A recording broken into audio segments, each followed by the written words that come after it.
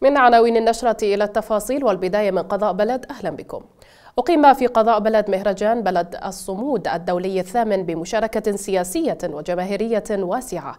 بمناسبة الذكرى السنوية لفك الحصار عن مركز القضاء وتحرير محيطه من سيطرة عصابات تنظيم داعش الإرهابية. وحضر الاحتفال ممثل دولة رئيس الوزراء الدكتور عقيل الخزعلي وأمين عام حزب الجماهير الوطنية النائب الدكتور أحمد عبد الله عبد أبو مازن ورئيس تحالف العزم مثنى السامرائي وأعضاء مجلس النواب ومحافظ صلاح صلاح الدين إسماعيل غضير الهلوب والقادة الأمنيون وشخصيات دينية وحكومية. وألقيت بالمناسبة كلمة للخزعلي وشخصية حكومية ودينية ثمنت الدور الكبير للقوات الأمنية والحشد الشعبي بكافة فصائله. وما قدمه الأبطال من دماء زكية لتحرير المناطق المغتصبة من سيطرة التنظيم بتنسيق وتكاتف كبيرين مع أبناء العشائر في المحافظة.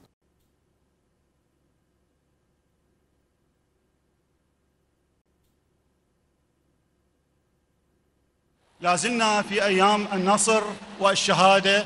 في هذا الشهر شهر كانون الأول الشهر الثاني عشر من السنة الميلادية النصر على داعش الإرهابي التكفيري وفي سنته الخامسة.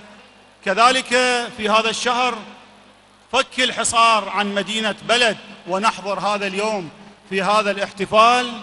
وإن شاء الله بعد سبعة أيام نتحول إلى احتفال المدينة المجاورة لمدينة بلد مدينة الضلوعية الصامدة. يوم أمس أيضا كان احتفال في مدينة تجيل لتخليد النصر والشهادة. أذكر مرة أخرى بهذا الشهر شهر النصر والشهادة. إن شاء الله تستمر احتفالاتنا ويأخذ على عاتقهم الأخوة المعنيين في مدينة سامراء والحاضرين منهم بإحياء احتفال ومناسبة على هذا المنوال. هذه المناسبات في الدجيل وبلد والضلوعية وسامراء إن شاء الله تؤدي إلى تعزيز الوحدة الوطنية بين فئات المجتمع.